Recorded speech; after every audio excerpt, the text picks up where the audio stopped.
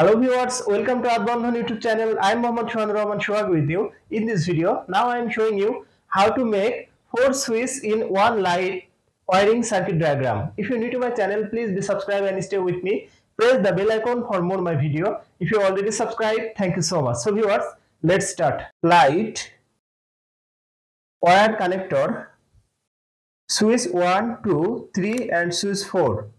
Phase connection input to connector neutral connection input to connector, earthing connection input to connector, phase connection from connector to switch 4, output connection from switch 4 to connect switch 3, output connection from switch 3 to connect switch 2, output connection from switch 2 to connect switch 1, output power connection from switch 1 to light, neutral connection from connector to light, earthing connection from connector to light. Now this circuit is ready for use. Viewers, that's my video. If you like my video, please like and share my video to your friend. Share my video to your all social media. Thanks for watching my video and thanks for being with me. Thank you so much.